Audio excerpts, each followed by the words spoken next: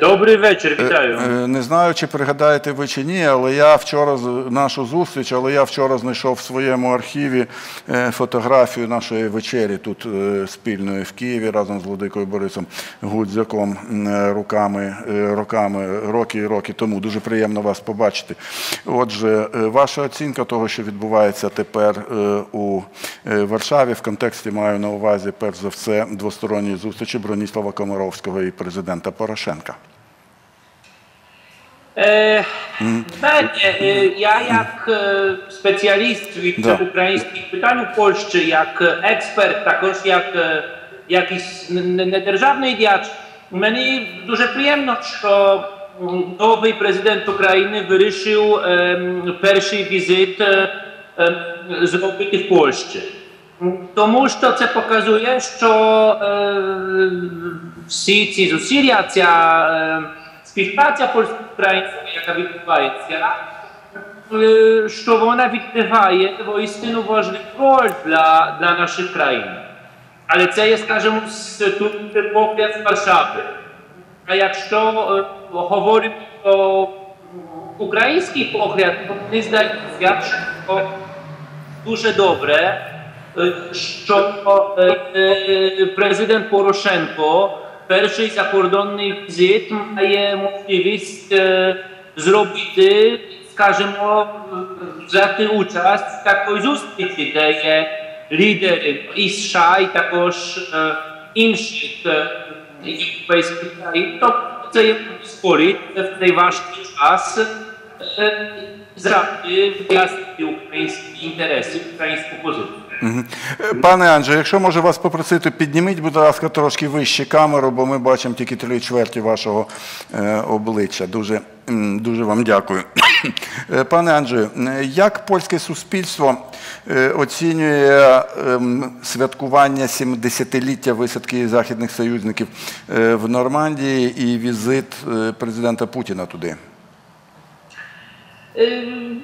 Мені здається, що про це зовсім майже у Польщі не, не, не, зараз не говориться. Десь два тижні тому, можна сказати, були такі два чи три дні, коли, коли ми дізнались, що ем, Путін ем, буде у Франції, де про це ем, представники різних політичних партій говорили, але пізніше десь це питання зовсім пропало і зараз його майже не, не, не згадується. Е, Пане Анджею, з вашої точки зору, чи не прийшов час українцям і полякам е, залишити е, в минулому взаємні конфлікти, взаємні сперечанки, взаємні непорозуміння і звернутися до того досвіду, спільного досвіду, позитивного досвіду проживання в спільній е, Ржечі Посполітій впродовж сотень років? Е, Мій погляд такий, що е, суперечки про історію не мають, е, скажімо, великого політичного сенсу. Тому що дуже тяжко двом різним націям, я не тільки маю на увазі Поляків і українців, але дуже тяжко домовитися про історію. Е, І, і про історичну пам'ять я маю на увазі, і, і краще просто вшанувати історичну пам'ять м, пам'ять сусіда. Е, Якщо є деякі спільні позитивні елементи, то очевидно їх можна використовувати, але м, е, є більш важливі справи, особливо зараз. Е, е, Я маю на увазі політику нашого е, північно-східного цій ситуації просто дискутувати про, е, про, про, про, історичні деталі, мені здається, що це є не є саме питання, як мають займатися наші політичні лідери чи, е, чи ЗМІ. Треба просто, так як згадували, треба більш, більш думати про, про майбутнє.